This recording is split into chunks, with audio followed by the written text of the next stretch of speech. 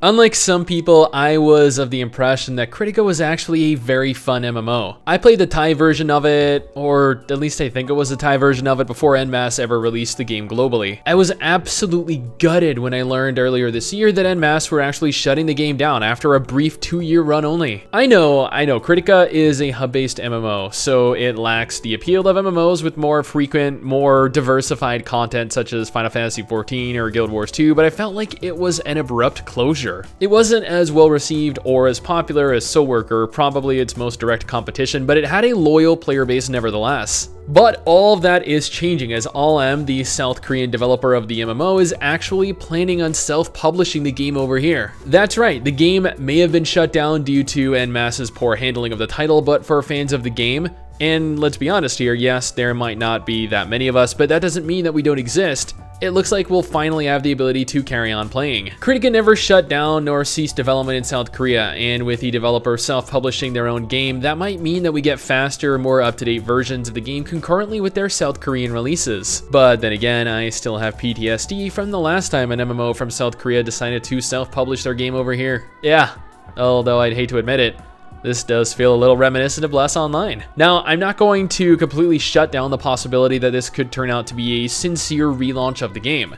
I've just, I guess, you know, been shat on by so many companies recently that I just can't help but be pessimistic. On October 22nd, Allm made an announcement on the official Kritika Facebook page. Allow me to read aloud exactly what was mentioned. Hello everyone, this is GM Ruka from Allm. Sadly, Kritika NA slash EU service has been shut down last April. Last few months, we Allm have been working hard to bringing the Kritika service back and it will be soon relaunching in this coming November. We call it Kritika Reboot. This coming Kritika Reboot has two main differences from the past service. First, First, there is no stamina system, hence no penalty even after consuming all of the given stamina. Second, reworks of reward structures. Not all, but most of the gears and equipment are tradable now, and most of the items can be obtained through actual game content. More to be followed, so stay tuned. To our past and future players, we've prepared a little gift as our appreciation. We'll be giving out some items when we reach certain Facebook page like counts.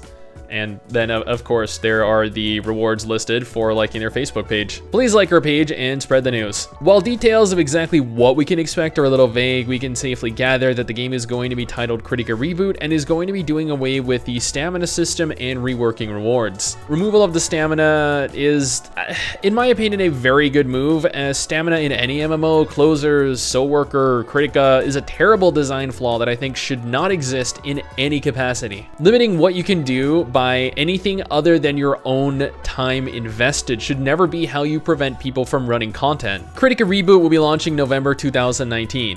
Well, relaunching, kind, kind of relaunching? Uh, the new version will be going live, but as noted, not much has been revealed. Whether or not they'll opt to have players purchase Founders Packs to get early access or a head start, whether or not the game will be free to play, Right now, there are just too many unknowns to really guesstimate accurately. So, all we have to go off of is that the game is coming back, there will be some necessary changes made and hope that it isn't going to be a cash grab like Bless was. I feel like that's realistically all we can hope for. But that's just my opinion, my first impression of this situation. What do you guys think? Are you looking forward to it coming back? Does it look exciting? Will you try it out again or do you even want to? Let me know in the comments below and let's talk about it.